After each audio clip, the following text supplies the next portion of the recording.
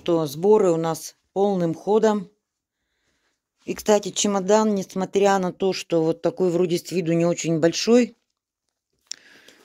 влазит много вещей.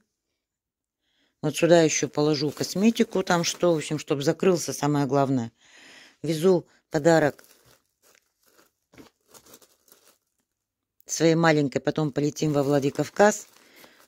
Прямо вот отдельное место ей выделила в чемодане. Но сейчас навела везде порядок, все, чтобы потом прилететь. Там еще косметичка, фен положу. А сейчас собираемся на маникюр. На маникюр, на стрижку, на покраску, чтобы прилететь в полной боевой готовности, чтобы, ну, все, чтобы быть красивой девочки. Мы для этого все с вами делаем. Хочу просто быстренько так с вами, перед тем, как пойти, что я купила. Магазин называется «Галактика». «Галактика» — это рядом с ЖД вокзалом Туапсе. Вот такие штуки я выписывала. Это основа под макияж. Якобы выравнивает тон. Я их уже бутыль, бутылька 3-4 где-то использовала. Не знаю уж, насколько он выравнивает. Но раз надо, так надо. Там, в этом магазине, он стоит 169 рублей. Вот мы под макияж нанесли основу. Такая бьюти-блогер. Похоже на хрен знает кого, потому что прически на голове нет. Все отросло, все это стало... Все равно раз в месяц нам, девочкам, надо, конечно, вот, ну что это? Конечно, когда пригладишь, так еще терпит. Вот. И купила, девочки, не знаю что, пушон, мушон. Просто так мне было даже интересно, все же было запаковано. Вот такая, ну типа тональный, не тональный. Но он такого не сильно темного цвета, и он как бы вот эти какие-то круги под глазами, он, ну, из меня еще тот, конечно, этот. Я все делаю так. В общем, сейчас мы намажем. А сколько он стоит? По-моему, 300 рублей. Вот мы их тут высветлили. И теперь обычным... Я вообще всю жизнь пользовалась вот эти вот... Эм, показывают сейчас бьюти-блогеры-то. Обычным тональным кремом. Ни, никаких я не делала там... Сейчас же у них там... Тут, э, как там... Не хайлайтер, а как-то что-то второе-то. В общем, даже название-то не помню тональный крем у меня заканчивается, и поэтому с собой в дорогу я в том же магазине прикупила вот такой тональный крем. Попробовала им вчера очень, кстати, неплохо. Ну, мы сейчас пока дома. Нам надо использовать вот этот. Мальчики могут не смотреть это видео.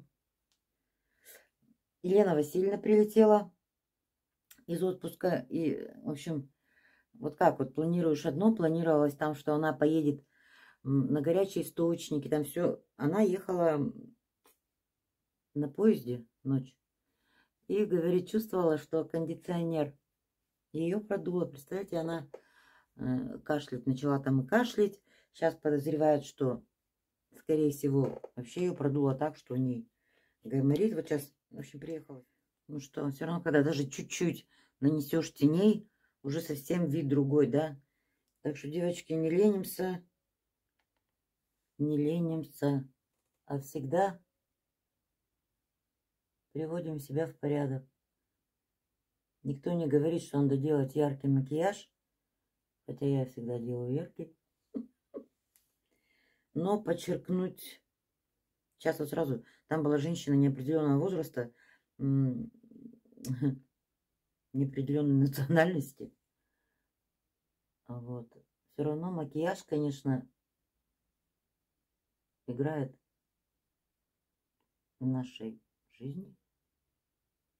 Да и вообще с макияжем я чувствую себя, ну, более, ну, серьезно, более уверенно. Я знаю, что выгляжу, ну, пусть не на 100, хотя бы на 91%. И чувствую себя прямо уверенней. Вот, вот. Насмотрела кучу роликов, как с нависшим веком бороться. Хотя, мне кажется, у меня никакие не нависшие. Так что...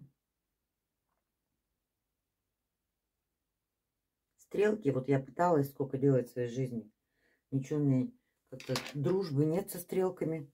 И поэтому, и поэтому вот каждый подбирает макияж, мне кажется, под себя. Ну, кто делает, тут согласится.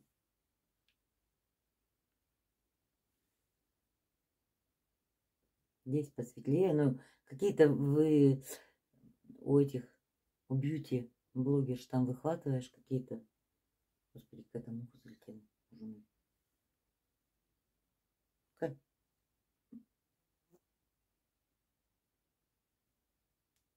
Ну вот совсем другие глазки стали. Так, что я еще купила? Сейчас покажу. Я же там еще у этих бьюти блогеров подсмотрела. Это вот как они делают, чтобы лицо-то было. Прикупила вот такой карандаш. Но это я покупала в Магнит Косметик. Корректор. Вот и корректоры, хайлайтеры, как их всяко называют. Я не знаю, помогает это или нет. Но зачем-то это делаю.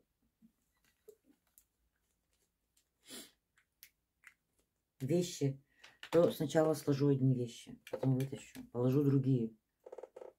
В общем, не знаю. Там написали, что как-то там про Ивана мне написали, что ну, там нельзя доверять мужчинам. Ребят, я еду в гости.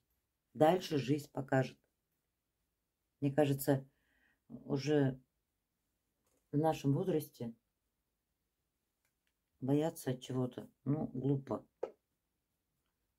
Мне кажется, вот лично я про себя говорю, что ну, я уже ничего в этом в своем прекрасном возрасте не боюсь. То есть, как будет, так будет. Да, да, нет, нет. Мы едем с вами в гости человеку, который мне понравился, с которым мы пообщались и ну, мы как на одной волне. То есть и чувство юмора у нас как бы одинаковое. И поэтому, ну, как будет, так будет. Это недалеко от моего города родного. А, еще такие взяла румяна. У меня темные. Решила, что будут розовые. Я прям боюсь. Они такие яркие. Сейчас, вот такая розовощекая. Клуня.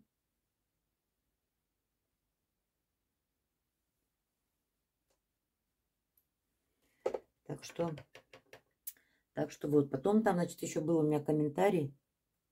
Мне написали, а ваши дочери на вас не обидятся?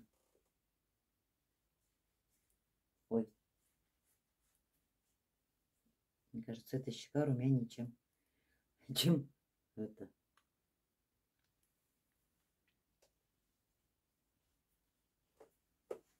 Девочка, почему мои дочери должны на меня в чем-то обижаться? У меня с дочерьми, тьфу -тьфу -тьфу, я всегда говорю, господи, какое счастье, что мне повезло с моими детьми, что, но они у меня обе правильные. И обижаться там мне кажется, когда у матери со своими детьми очень такие доверительные отношения, я всегда приду им на помощь. Я знаю, что они всегда придут мне на помощь. То есть, как бы, а что им обижаться? Они, наоборот, даже рады за меня, что я сейчас лечу, что я сейчас свободна, что э, мы с ними увидимся, встретимся. Как бы, я не понимаю, когда нужно им помочь, я всегда помогу. Когда нужно даже мне помочь, они мне всегда помогают. Тьфу, у меня замечательные отношения с моими детьми. И обижаться им за меня, на меня, думаю, что даже не за что. Мне кажется, дай бог, чтобы у всех такие были отношения. Ну, это я так считаю. Может, кому-то со стороны видней. Я не поняла вопроса, как бы, что обижаются, что я должна приезжать, видимо, сидеть там, нянчиться. Внучки у меня большие уже. Ну, по крайней мере, две. Та маленькая, у них тоже своя семья. У нас с мамой также было. Я жила в Норильске, приезжала в отпуск. Мама мне помогала, когда я была в отпуске. Я вообще сама в 19 лет вышла замуж и уехала на крайний север жить самостоятельно. Так что Олечке Станкевич, там, по-моему, написала ответ. Спасибо за поддержку. Ну, я не поняла, что это был за вопрос, конечно, такой. Я их ничем не обидела. Я, я считаю им обижаться за, на меня не за что. В общем, вот такой влог длинный получается с этой покраской. Самый-то, девочки, хочу вам показать, какую я купила. Я в этом магазине, сейчас я ресницы докрашу. В этом магазине покупала розовые. Э, ну, она как не помада, я даже не могу Сейчас покажу. Сейчас докрашу. Это были бы нарощенные ресницы. Даже красить не надо было. Ну, в общем, нормально. Вот. Покупала вот такой вот помада. Это не помада. Тут она с блест, чтобы блестели губы. Здесь и я, когда я купила, я потом, когда начала краситься, понимаете, она не растекается, она не нигде вообще. Она прям как вот на губах лежит, и даже поешь она остается. Я не знаю, что это за фирма. И я даже, больше так сказать, Ever Beauty. Ну, вот. И я купила такую же красную, зашла. Прямо захотела такую же красную помаду. И сейчас мы накрасим. Я вам покажу. В общем, сделала подводочку и Стоит она 199 рублей. Сейчас. У нас такой красной помадой.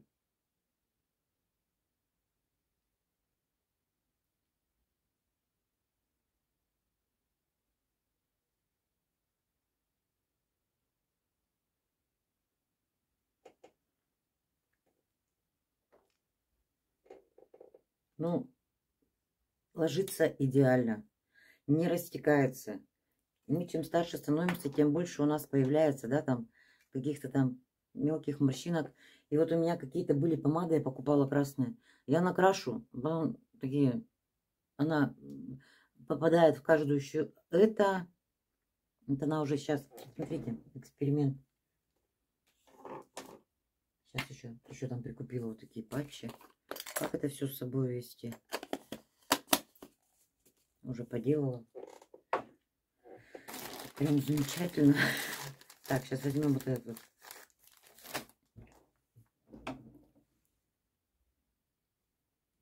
Представляете? Вот я прикладываю.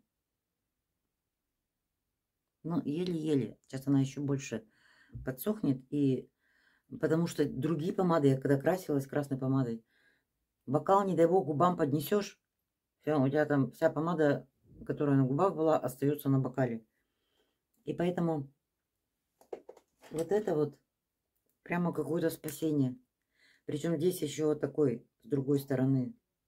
Типа как, если вы хотите, чтобы губки были блестящие,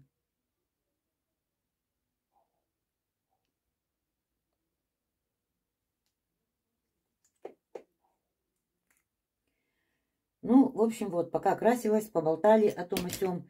В общем, нам осталось собрать только косметику, фен. Но это я оставила на утро. И все, и завтра, сейчас увидимся с Леной. Естественно, тоже поснимаю. Э, моя коллега Мришка позвонила. Говорит, ну раз ты уезжаешь, давай как пожарим шашлыки. Э, тоже хотим встретиться, когда мы еще, когда я вернусь в ноябре. Ну, в общем, вот такие вот планы. Все в последний день. Жизнь хороша, жить хорошо. А хорошо жить еще лучше, да? Ну, вот такие вот покупочки. Маленькие. Маленькие, не маленькие, там около двух тысяч все это обошлось. И, конечно же, рекомендую. Я не знаю, мы все в разных городах. Вот это супер, супер, пупер. Решение проблем без отпечатков, без всего. И губы все время как, как у чайной розы. В общем, увидимся. Сейчас бегу на стрижку. Бегу на маникюр. Не знаю, как сделать маникюр. Яркий, бруский не хочу. В общем, все. Погнали.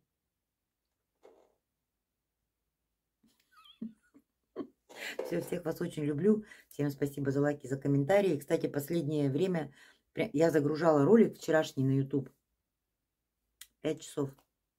Я пробовала и с э, дополнительной программой.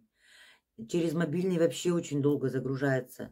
И только на мобильном э, интернете еще ролики открываются. А загрузить ролик на YouTube. Так что, кто еще не подписался на канал Zen, переходите по ссылочке в описании к каналу. Ну, потому как что-то происходит, неизвестное нам. И чтобы не потеряться, очень многие переходят на дзен. В принципе, я тоже сначала, когда на дзен туда зашла, на эту площадку, мне не понравился. Сейчас я в ней разобралась. Это, в принципе, аналог Ютуба. И как бы нормально себя там чувствую. И он и через Wi-Fi работает, и через мобильный интернет, и грузится видео в течение буквально 5-10 минут. А вот с Ютубом-то стало все намного, конечно, сложнее. Чем все это кончится? Конечно, не хотелось бы с Ютубом прощаться, но все зависит, конечно, не от нас. Все, всех вас очень люблю. Поехали в лес мы за орехами. Все, пока-пока. Увидимся.